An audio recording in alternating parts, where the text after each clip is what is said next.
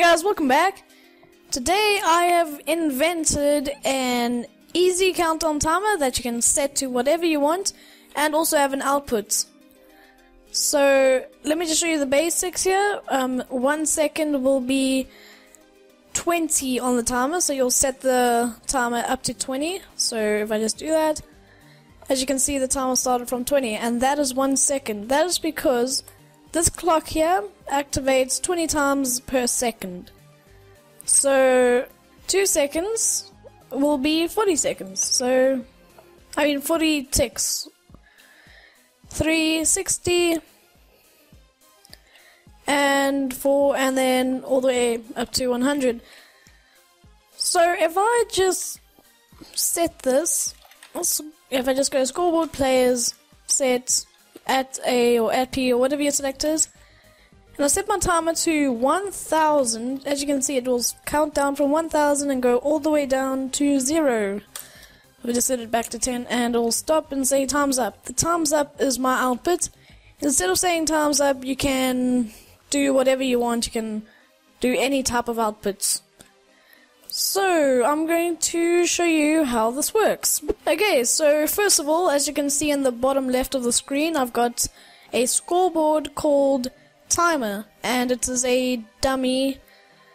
Uh, the type is a dummy, and you'll have to make that for this to work. You can call it whatever you want, but you'll just have to change the name Timer in the command blocks. So once you've made that, then you want to make yourself a fill clock. If I just, um, whoops. If I just grab this command block here and just put it down there, um, you can see I've got a fill clock here. It doesn't have to be a fill clock, it can be also a set block clock, but um, it was a fill clock when I started, so yeah, just keep that in mind. And if I just quickly do that, and as you can see, the bottom command is a fill command that will set block or place a block of air on top of it. And the command block on the top will constantly place a redstone block below it. The command block on the right will remove one from your timer with a scoreboard players command. And the command block on the left will do your actual display of your timer. So this can be in the form of a tellraw, a title, or your sidebar. So if I just go out of F1 mode, you can see it's this thing right here.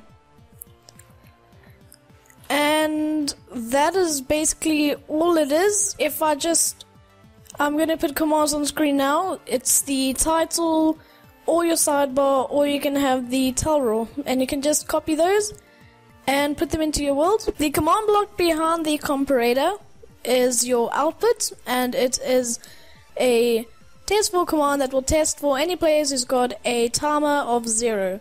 If they do, it will activate your output blocks, which are right here. So that is basically it.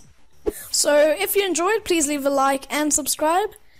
And I'll put a will download into the description below so you can check this out for yourself. And I'll see you all next time.